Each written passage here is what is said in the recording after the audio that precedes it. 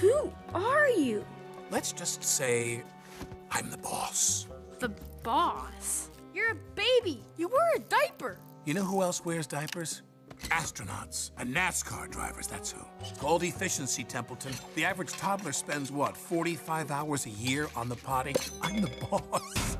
I don't have that kind of spare time.